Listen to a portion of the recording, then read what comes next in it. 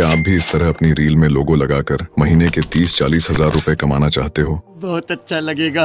और Insta reel पर आपके भी अच्छे व्यूज़ आ जाते हैं पर आपको लोगो कहाँ से मिलेगा? और लोगो लगाने के पैसे कौन देगा? सब बताऊँगा। पहले मेरा ये चैनल सब्सक्राइब करें। और वीडियो के डिस्क्रिप्शन में जाके मेरे टेलीग्राम को ज्वाइन करना और इंस्टा में डीएम करना। आपको स्पॉन्सरशिप मिल जाएगा।